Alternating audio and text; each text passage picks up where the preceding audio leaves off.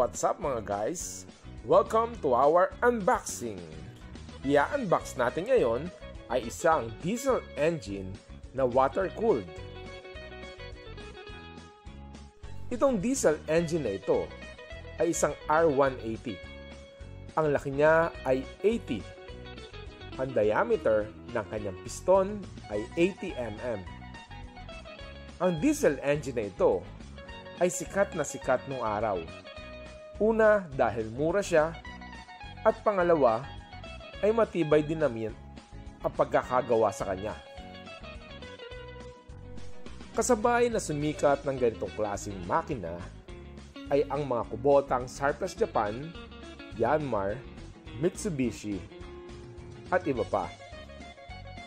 Isa ito sa pinakamurang makina na sumikat na matibay din naman ang pagkakagawa mula sa China. Ngayon, isa ito sa pinakamurang makina na matatagpuan sa ating market. Ginagamit pampatubig, hand tractor,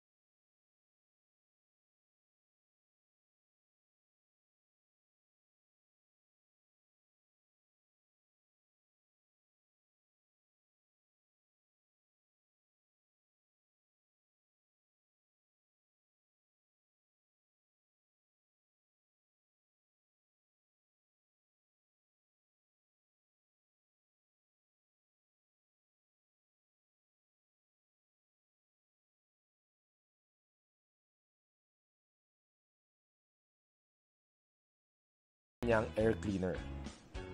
Kapag ginagamit natin ito sa water pump, iwasan nating mabasa ang air cleaner ng tubig. O maaaring iharap natin ang ilaw ng makina sa pump. Nang sa gayon ay malayo ang talsik ng tubig o mabasa ang ating mga makina.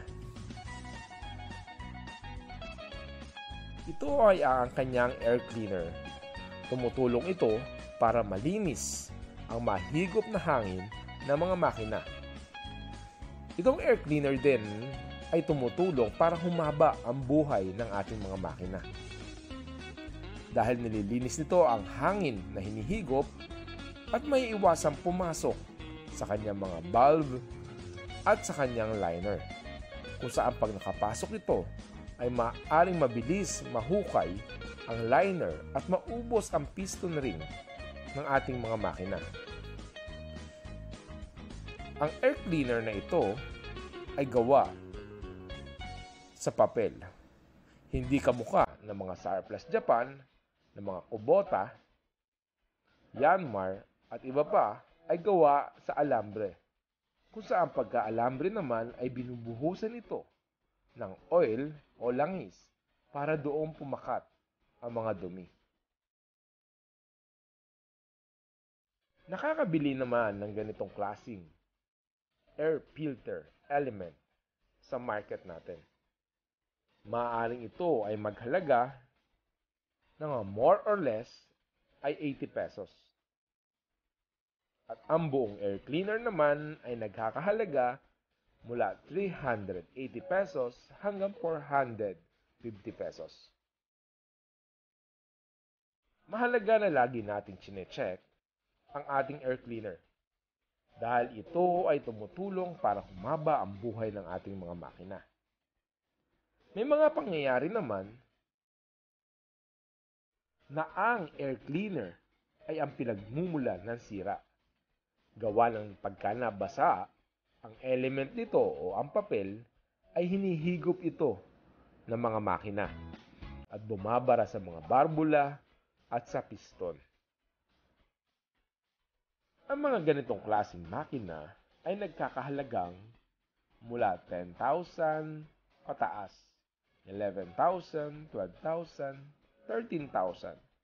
Depende sa brand at importer na nagdala dito sa ating bansa. Ito ang kanyang dipstick at dito rin natin nilalagay ang kanyang langis. Pangkalimitan ay nilalagyan ito ng 2 litro hanggang 2 kalahating litrong langis na may lapot na 40. Yan naman ang ating oil indicator kung saan tumataas ito pag umaandar ang ating makina. Yan naman ay ang ating fuel filter papunta sa kanyang injection pump. Yan naman ang kanyang throttle o accelerator.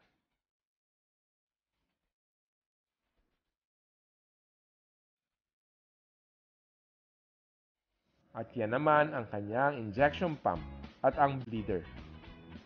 Kung saan binibleed natin sa lugar na yan para mawala ang hangin na papunta sa injection pump.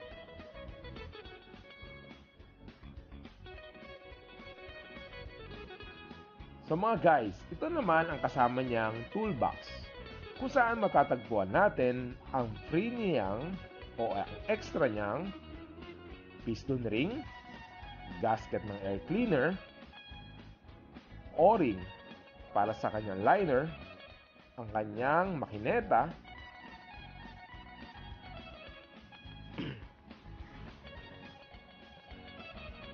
ang pantanggal ng bulante, mga tornilyo kung saan para sa kanyang pulley at ang gasket para sa muffler at ang pillar gauge kung saan pansukat ng ating layo ng barbula sa rocker arm. At kasama din ang nozzle wrench. So yan ang kalimitan nating makikita sa ating mga makina. May kasama din siyang manual na made in China.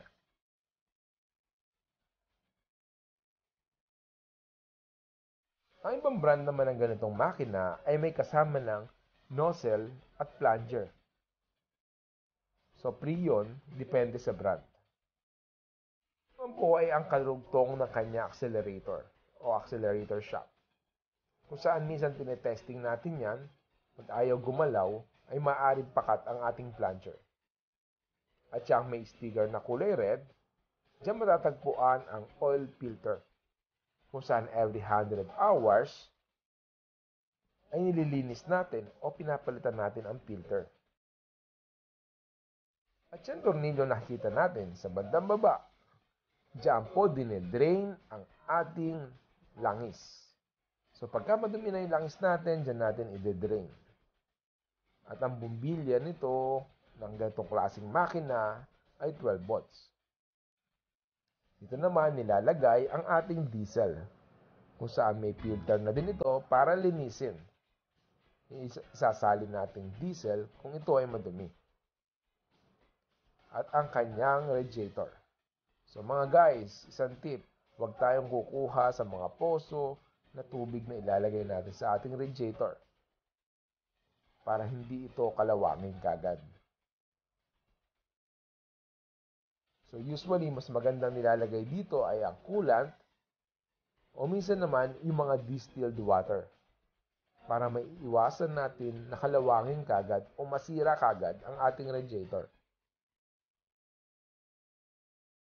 Dito naman matatagpuan ang kanyang nozzle tip kung saan dito bumubuga yung diesel na pinong-pino. Yan ang adjustan ng kanyang nozzle. At dito naman natin binibleed kung may hangin yung mga fuel line na daanan ng diesel.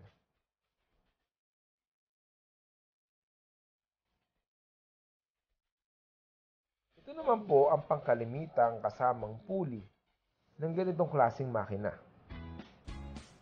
So usually ang mga kasama niyang pulley ay size kung saan ginagamit pampatubig o ikinakabit o lapat para sa mga water pump.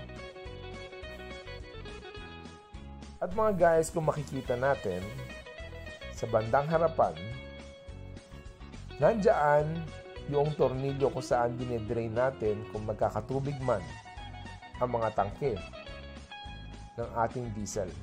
At yung may butas na isa na yun sa harapan, yun naman ang tinatawag nating breather ng makinang R180.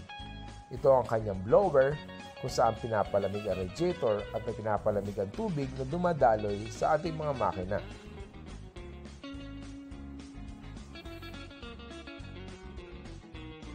Mga guys, isa sa mga titingnan natin pag gumagamit tayo ng ganitong makina ay ang belt ng blower kung saan pag ito ay may tama na o sira na, maaaring magdulot ito ng overheat sa ating makina.